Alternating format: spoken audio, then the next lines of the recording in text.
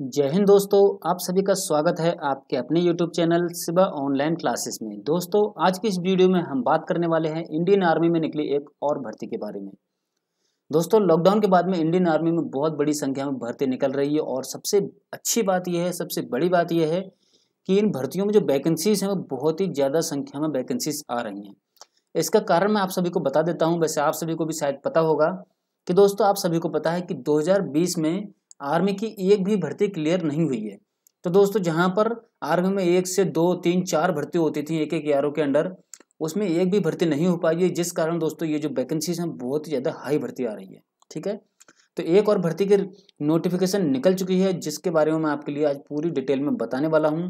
तो दोस्तों, वीडियो में लास्ट तक ज़रूर बने रहिएगा, और अगर वीडियो पसंद आए तो वीडियो को लाइक करें कमेंट करें और अपने दोस्तों के साथ में शेयर करें। और हाँ दोस्तों, अगर आपको चैनल पे नए हैं चैनल को सब्सक्राइब अभी तक नहीं किया है तो हमारे चैनल को सब्सक्राइब कर लें और बेल आइकन को ज़रूर प्रेस कर लेना, जिससे आने वाली वीडियो की नोटिफिकेशन आप तक पहुँचती रहेगी सबसे पहले। तो चलिए दोस्तों स्टार्ट करते हैं आज की वीडियो तो दोस्तों, सबसे पहले तो मैं आपको बता देता हूँ कि यहाँ पर कौन कौन सी ट्रेड्स के लिए वैकेंसीज निकली हुई हैं, ठीक है? यहाँ पर मैं आपके लिए पूरी की पूरी जानकारी देने वाला हूँ, लेकिन उससे पहले मैं आपको ट्रेड्स बता देता हूँ।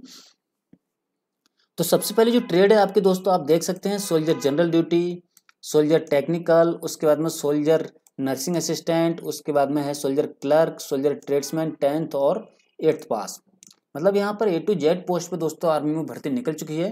तो चलिए अभी जान लेते हैं एक एक पोस्ट के बारे में आपके लिए क्या क्या एजुकेशन क्वालिफिकेशन हाइट वेट और आपकी जो डेट ऑफ़ बर्थ है वो क्या होगी, ठीक है? लेकिन दोस्तों, वीडियो को अभी तक लाइक नहीं किया है तो वीडियो को लाइक ज़रूर कर दें। तो सबसे पहले ले लेते हैं सोल्जर जनरल ड्यूटी। इसके लिए आपकी जो एज लिमिट है दोस्तों, वो आपकी साढ़े सत्रह से इक्कीस साल होगी। और उसके बाद में आपकी जो डेट ऑफ़ बर्थ है दोस्तों तो आपकी जो डेट ऑफ़ बर्थ एक अक्टूबर उन्नीस सौ निन्यानवे से एक अप्रैल दो हज़ार तीन के बीच में होनी चाहिए।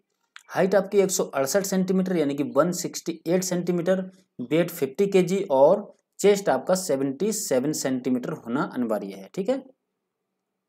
उसके बाद में दोस्तों आपका जो एजुकेशन क्यू आर होगा, उसके लिए आपको टेंथ पास पा, टेंथ पास होना चाहिए, आपके फोर्टी परसेंट मार्क्स होना चाहिए टेंथ में, और किसी भी सब्जेक्ट में आपके थर्टी थ्री परसेंट मार्क्स से कम नहीं होना चाहिए, ठीक है?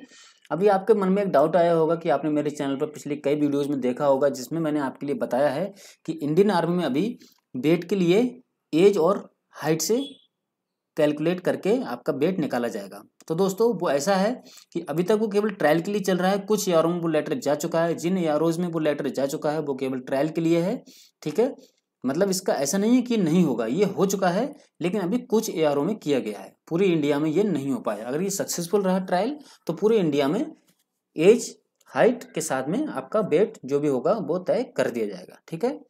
नेक्स्ट ले लेते हैं हम सोल्जर टेक्निकल तो सोल्जर टेक्निकल में आपके लिए पता होना चाहिए कि आपकी जो एज लिमिट है, वो साढ़े सत्रह से तेईस साल होता है।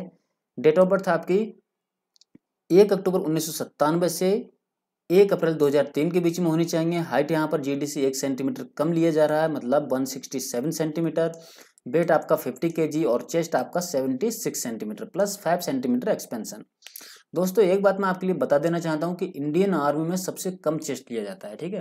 बाकी आप चाहे स्टेट के पुलिस या फिर किसी भी अर्धसैनिक बल में जाएँगे तो यहाँ पर जो आपका चेस्ट लिया जाता है, वो अस्सी और पिचासी लिया जाता है, ठीक है? लेकिन यहाँ पर दोस्तों seventy six seventy seven centimetre ही लिया जाता है। तो आर्मी में आपके लिए जितना आसान है भर्ती होना, उतना आसान आपके लिए किसी भी फोर्स में भर्ती होना नहीं है, ठीक है?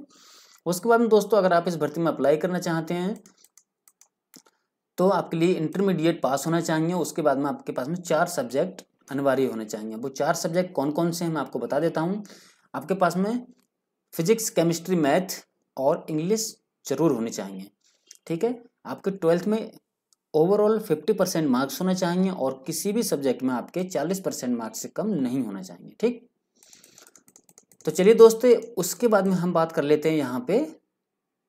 सोल्जर नर्सिंग असिस्टेंट, ठीक है? तो नर्सिंग असिस्टेंट की भर्ती के लिए दोस्तों, आपकी जो एज लिमिट है वो सेम एज टेक्निकल है सब कुछ सेम है यहाँ तक, ठीक है?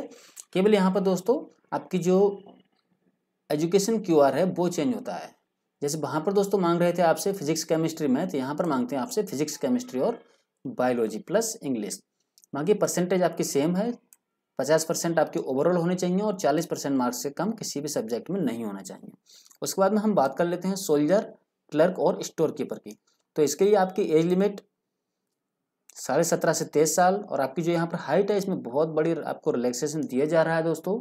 आपकी जो हाइट है यहाँ पे वो 162 सेंटीमीटर ओनली ली जा रही है। अगर आपकी हाइट 162 सेंटीमीटर है तो आप इस भर्ती में अप्लाई कर सकते हैं। बाकी चेस्ट और वेट आपका सेम है 50 के वेट और 77 सेंटीमीटर आपका चेस्ट लेकिन यहाँ पर दोस्तों थोड़ा सा एजुकेशन क्वालिफिकेशन में थोड़ा सा यहाँ बदलाव है। आपको इंटरमीडिएट पास होना चाहिए।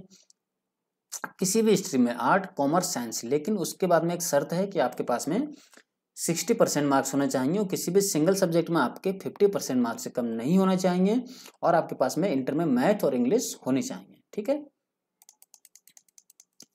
उसके बाद में दोस्तों हम बात कर लेते हैं सोल्जर ट्रेड्समैन की। तो सोल्जर ट्रेड्समैन की भर्ती के लिए दोस्तों, यहाँ पर टेंथ पास और एट पास। मैंने कल भी एक वीडियो अपलोड की थी जिसमें मैंने आपके लिए बताया था कि सोल्जर ट्रेड्समैन टेंथ और एट्थ पास में क्या अंतर है? क्योंकि मेरे पास में काफ़ी सारे दोस्तों कमेंट्स आए थे कि, सर, भर्ती तो ट्रेड्समैन की है, लेकिन यहाँ पे एक जगह एट और एक जगह टेंथ पास क्यों ले रहे हैं? तो उसका कारण दोस्तों ये है कि एट पास की जो ट्रेड्समैन की भर्ती होती है, उसमें केवल मैस कीपर और हाउस कीपर की ही भर्ती होती है।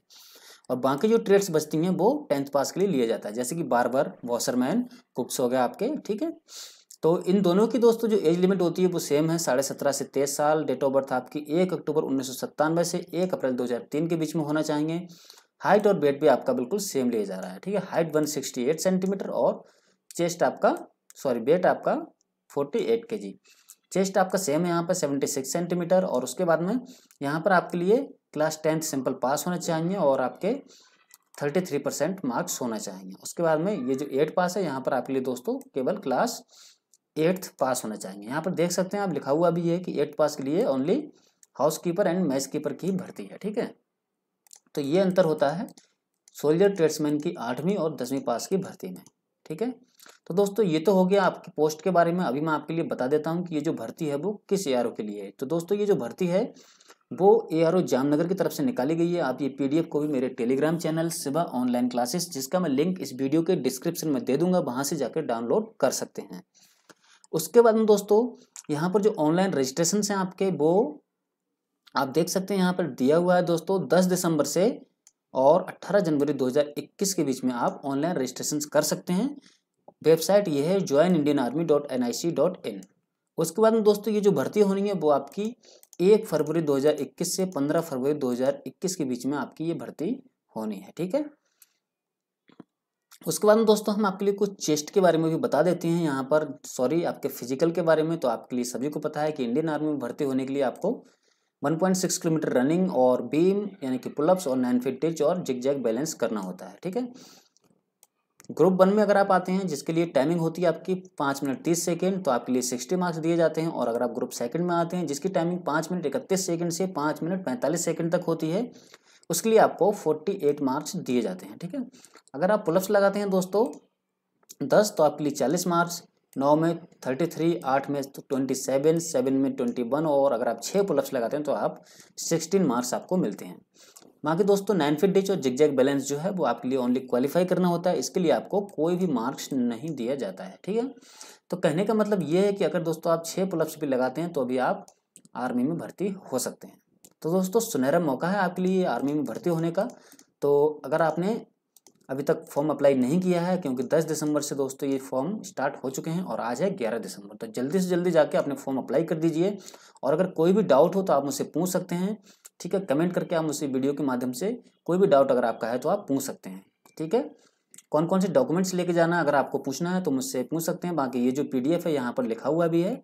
ठीक है, इस पी को आप टेलीग्राम चैनल से डाउनलोड करके अच्छे से पढ़ सकते हैं। अगर आपके समझ में नहीं आता है तो आप मुझसे भी कमेंट करके पूछ सकते हैं। तो चलिए दोस्तों, कल फिर मिलेंगे एक नई वीडियो में। आज की वीडियो में बस इतना ही।